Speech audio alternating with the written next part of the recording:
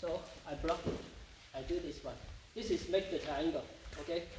Yeah. In, in my system, this is the outside triangle. Some people say this is the sphere. All right.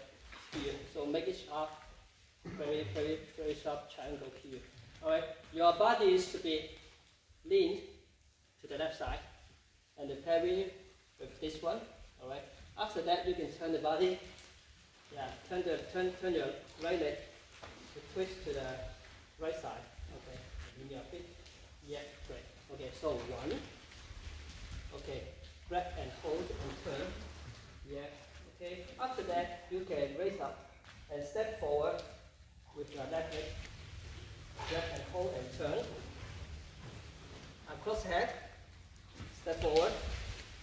Yeah. One two, three, and four. Is easy,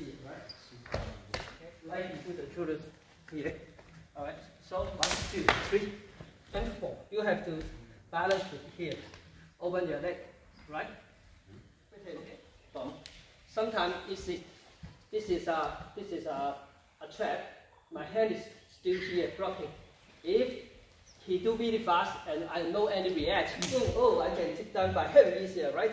But at the moment, when I punch him, see, I jam it.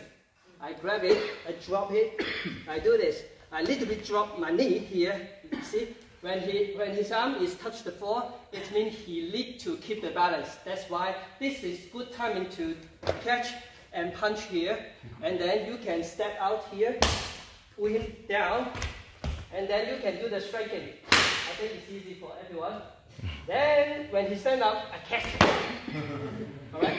Now we can do step, cross the leg to this leg, to this side, to lock, or you can do opposite side, same, same way.